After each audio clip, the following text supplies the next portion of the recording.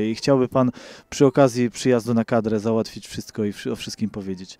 Myślę, że temat już tutaj tej selekcji wyczerpujemy. Jeśli są jeszcze jakieś pytania Tak. konkretne, to Tak, oczywiście. bo zmarznę tutaj i będzie bez to- to- to- trenera To